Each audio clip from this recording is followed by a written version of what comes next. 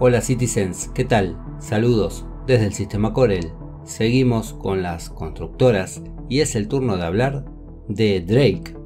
Así que no nos demoremos más y vamos a ponernos manos a la obra.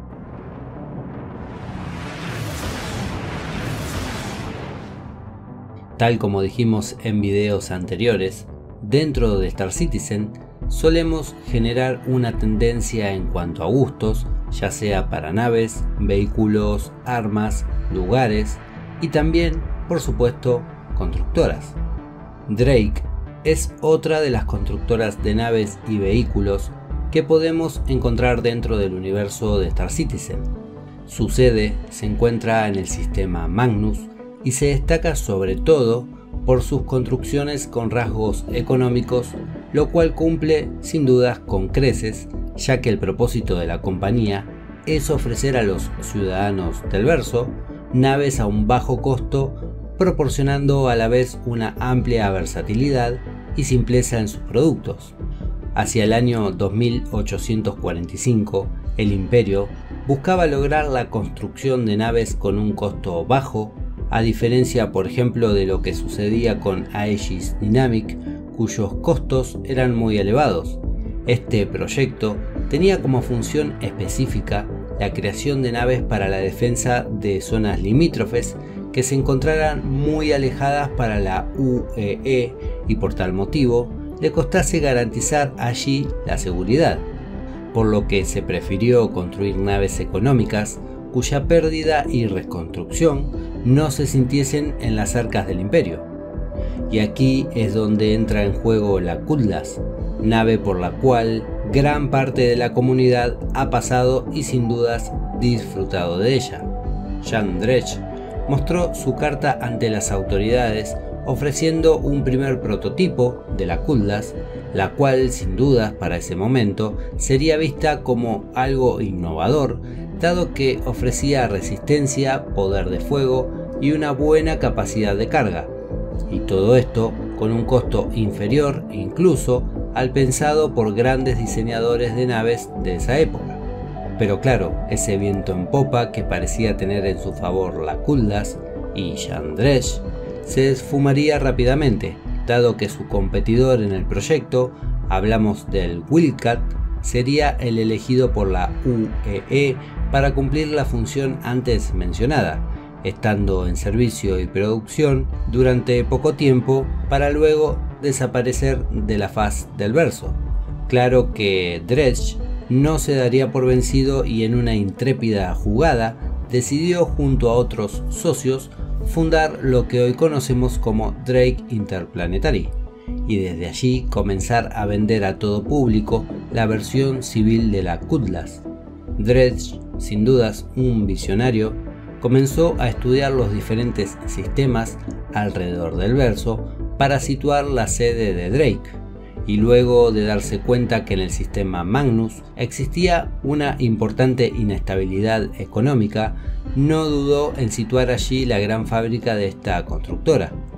Más precisamente se situó en la ciudad de Odisa y sin perder tiempo se llevó adelante la producción del modelo Cutlass, el cual fue un éxito absoluto en ventas y el imperio miraba de reojo la mala elección que había realizado para la defensa de esos límites lejanos.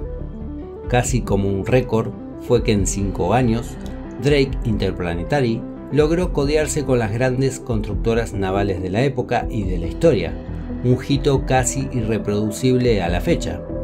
Pero esto no acabaría allí,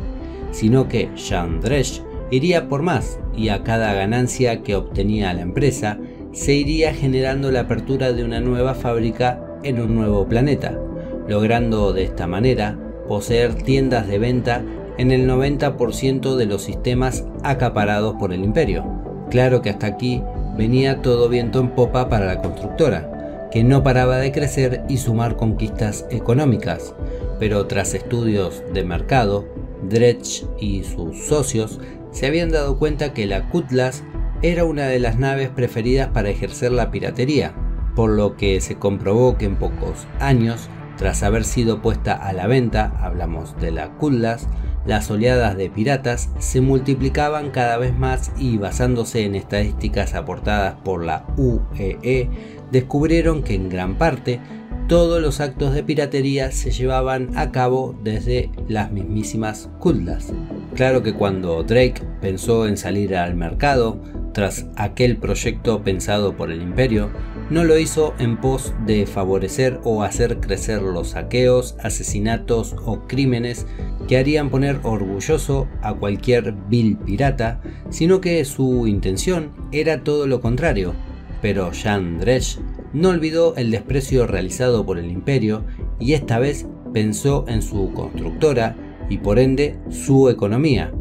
Y viendo el gran mercado que Drake estaba abarcando, no le importó si el destino de sus productos serían los mismísimos piratas, por lo que no solo para esta época ofrecía la Cutlass, sino que se diseñó otra nave que sería un éxito entre los malhechores del verso,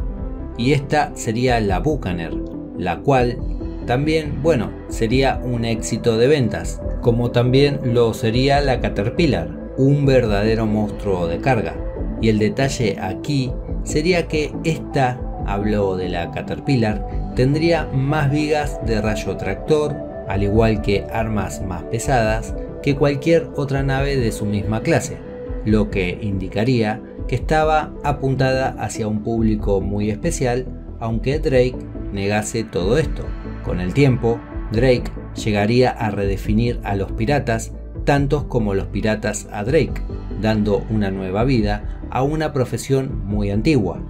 Claro que hasta aquí, con los movimientos realizados por Drake Interplanetary y viendo la escalada delictiva en el verso, los ojos del imperio se posaron sobre la constructora de Jean Dredge. Entonces se decidió la construcción de otras naves, como la Vulture, una nave chatarrera, o la corredora de información, hablamos de la Herald. Incluso Drake intentó limpiarse un poco creando la versión policíaca de la Kudlas, o sea, la Kudlas Blue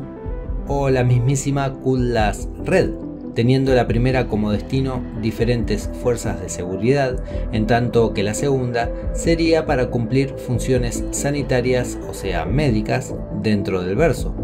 De todas maneras, a pesar de intentar limpiar su imagen, Drake Interplanetary no se esforzó en detener la venta de sus productos en favor de los malvivientes que se encontraban en los diferentes sistemas del verso.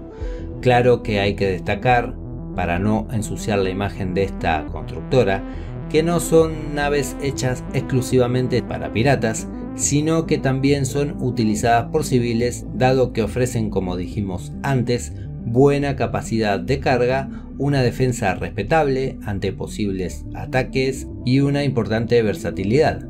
Sus naves generalmente son adquiridas por civiles que no logran hacerse por ejemplo con un Arrow de Aegis Dynamic para brindar seguridad o una Freelancer de otra constructora como lo es Mix y optan por una Cutlass pudiendo así dedicarse también al comercio. A la fecha, Drake nos ofrece las siguientes naves, la Buchanan, la Caterpillar, la Cutlass Black, Cutlass Blue, Cutlass Red, la Herald, el portanaves o portaaviones Kraken, la Corsair, la Vulture y la siempre bella Dragonfly. A todo esto, el imperio continúa enviando fuerzas de seguridad para controlar las diferentes zonas limítrofes donde la piratería brilla en todo su esplendor. Y ante esta situación, Drake se frota las manos sabiendo que todo esto solo hará que las diferentes organizaciones criminales requieran cada vez más de un número mayor de naves de reemplazo de la constructora que alguna vez se viera rechazada por las mismísimas autoridades de la UEE. E. Bueno citizens, espero que les haya gustado, lo hayan disfrutado y sobre todo informado. De ser así, Como siempre esperamos su like. Recuerden que en la descripción van a encontrar el Discord si quieren sumarse para un contacto más ameno y continuo. Y si aún no están suscriptos, bueno, los invitamos a hacerlo. Y sin tomarles más tiempo, nos vamos, no sin antes desearles una gran vida a todos y diciéndoles, citizens, si salen al verso, ya saben, vuelen seguro. Adiós.